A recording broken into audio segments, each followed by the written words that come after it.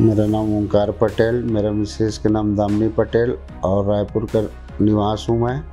और मेरा 20 साल हो गया शादी हुआ। और मैं साईं बाबा हॉस्पिटल आया, स्वाति मैडम से मिला और ट्रीटमेंट स्टार्ट हुआ। उसके बाद लड़का हुआ है, चौदह दो और 2024 को और एक बज के तीन मिनट में लड़का लड़का हुआ है। हम स्वाति मैडम को धन्यवाद देते हैं और हम बहुत खुश है और पूनम मैडम को भी धन्यवाद देते हैं साईं बाबा हॉस्पिटल पे।